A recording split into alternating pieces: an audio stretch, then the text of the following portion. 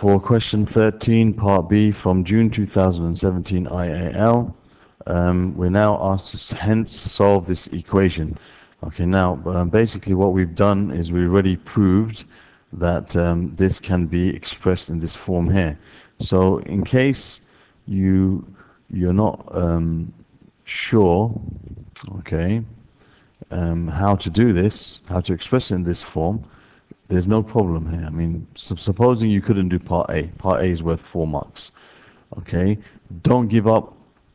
Okay, on part B. Part B, you might be able to do part B without knowing how to do part A. Okay, so don't just look at part A of a question. Oh, I can't do that, and then don't bother looking at the rest of the question. Just leave it and say, okay, I've, I've lost all those marks. No, there are six marks here that you could gain without doing part A because I've already told you to show that this uh, that something um, 5 cosine um, x plus 1 equals sine x tan x becomes this. So we can just uh, apply okay what we've just learned okay if if if 5 cosine x plus 1 equals sine x tan x gives you 6 cosine squared x plus cosine x minus 1 equals 0 then this will also give you something similar in the same format you just replace the x with 2 theta that's all so this can become okay 6 times cosine squared 2 theta plus cosine 2 theta minus 1 equals 0. So we have to solve this equation, okay, and find what the values of theta are, which um, satisfy this equation. The first thing I'm going to do is I'm going to try to make it a bit uh, simpler. So let me say, let, let y be cosine theta. If y equals cosine theta, then this becomes 6 times y squared. Remember, cosine squared 2 theta is the same as cosine 2 theta all squared. And this becomes y minus 1 equals 0. So this is something we're able to factorize. Okay, this is something we are able to, to factorize. Okay, we can split up the middle term into two parts. We can say, okay, um, oh, the reason why I changed it to from cosine theta to y, just to make it a bit familiar and easier to deal with. And we don't have to keep writing down cosine 2 theta every, sorry, y equals cosine 2 theta, see, not theta. Okay, be careful about things like that. We don't have to keep writing cosine 2 theta everywhere. All right? So what we're going to do is we're going to now factorize it. And we see two numbers that multiply to give you minus 6 and add to give you uh, 1. It's 2 times 3. So it must be 6y squared. It has to be positive 3y because you have a positive sum. Minus 2y minus 1 equals 0. Those two numbers when you add them together, you get exactly that. They're the same. And these two, um, these two, uh, when you, you know, you think about two numbers multiplied to give you minus 6, that's right, and they add to give you 1, that's right. Okay, good. So now we can take out the common factor. We can factorize by grouping. So we got 3y is common in the first pair, and you got 2y plus 1. You got minus, there's nothing common, so you write 1, and you end up with 2y plus 1 equals 0. So you've got 2y plus 1 times 3y minus 1 equals 0. So now we basically have two solutions. Either y is equal to negative a half or y is equal to positive one third. Okay, 2y plus 1 is 0, y must be minus half, and 3y minus 1 is 0, y must be a third. So we can say that cosine 2 theta can equal negative a half. And we can have another pair of solutions, cosine 2 theta, another set of solutions, cosine 2, th 2 theta equals one third. Now, we've got to go back to our limits. They say hence of, for limit um, theta between 0 up to and not including 180. Okay. Now we have to change this so it matches the angle we got. We got the 2 theta right? So we've got to change this to 2 theta. Well, that won't make an effect. That won't make, it, make an effect to the 0, but it will change this 180 to 360. So that means we've got to catch all of the angles between 0 and 360, okay, for when cosine theta equals negative a half. Now, always uh, we find the first angle by using our calculator. All right? So let's take the calculator and let's make sure it's in degree mode. It's in radian mode. Here we got to use degrees, okay, because um, they mentioned this in degrees. If this was in radians, then we'd have to give it in radians. Okay, so um, we're going to change it to degree mode. So I'll put, um, it says angle unit, so I'll press 2.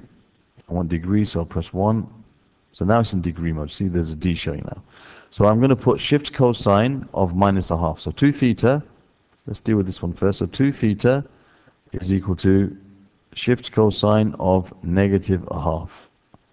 Okay, so we can have, the calculator will give us one value for this angle. It will give us one of the solutions. So you got shift cosine of negative a half. Negative a half, negative 1, 0 0.5. Close the bracket. Now that will give us one of the solutions, which is 120 degrees. Okay, that's one of the solutions, and it's within our range.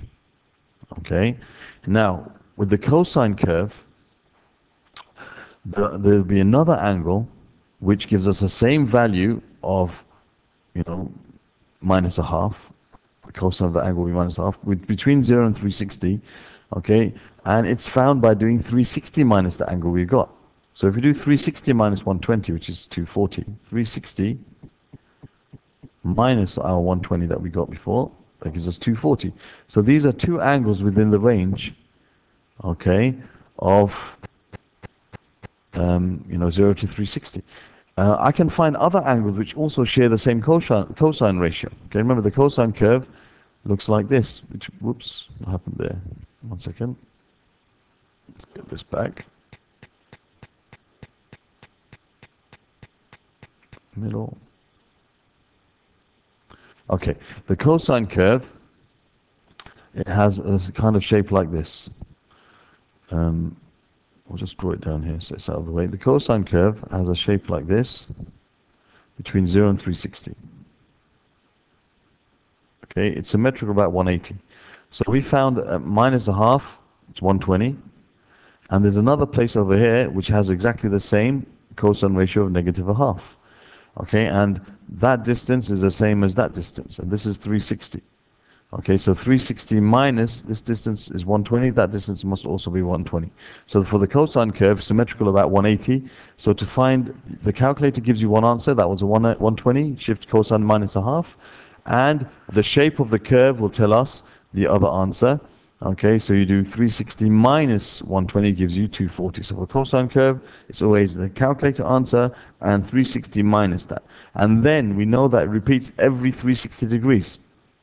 It continues repeating that same shape and it, has, it repeats every 360 degrees. So for example, uh, this value, there will be another place over here which has the same cosine ratio. And this value, there will be another place over there okay, which has the same cosine ratio. But however, those are outside of our range. The only two angles we need in our range are 120 and 240. There's no other angles within our range, so then we say, okay, so that means theta is equal to, we want theta not 2 theta, you divide by 2, you get 60 and 120. Those are the solutions for that first part. Then we got another part where cosine 2 theta, 2 theta equals a third. So again, we do the same thing. We say 2 theta is equal to inverse cosine of one third. So again, the calculator in degree mode will give us the answer for that. So we're going to do shift cosine of, this time it's going to be one third, positive one third. Okay, and the calculator will give us one of the answers, which is 70.529. I'll write it as um, a decimal, 70, 70.529. 70 0.529.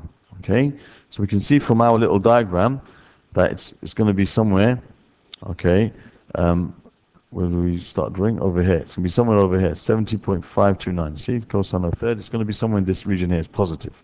All right, and of course, the same rule apply, applies. To find the other angle, we do 360 minus that. So we're going to take this angle, we're going to do 360 minus it. So 360, take away our answer, gives us 289.471. 289, 289.471. And if you add 360 to this and take away 360 from this for both of those, we will be outside of the range. Okay, it will take us to angles which are outside of our range, which is between 3, 0 and 360 for the double angle.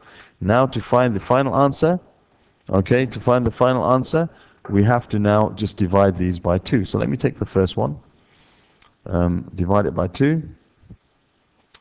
Uh, 114.735. So remember, the question says to one decimal place when appropriate. So this will be 114.7. So this gives us 114.7 degrees. And for 70.529, okay, just do that 70.529 divided by 2 and that gives us 35.3 degrees 35.3 35.3 degrees and here we have our four solutions to this question. I hope that was clear. So for cosine, shift cosine, answer. That, that That's one of the answers. Then 360 minus that gives you your other answer. Okay? And then from those two, you can generate any other solutions by adding and subtracting 362. And from those solutions, and you know, as long as they're inside the range. In this case, they weren't. Okay? For sine, it will be the calculator shift sine of the ratio gives you one answer and it's 180 minus that for the other angle for sine because the sine curve is symmetrical about 90 degrees and then from those two angles again you can generate other solutions because it repeats every 360 degrees and for tangent that's a lot simpler just shift tan boom your answer the tan curve just repeats every 180 so you just keep adding 180 and subtracting 180 to that angle that you calculate it gives you as long as you're within the range and you get all your solutions. Okay, so we'll see some more examples of these hopefully as we answer more questions. Thank you for paying attention. attention.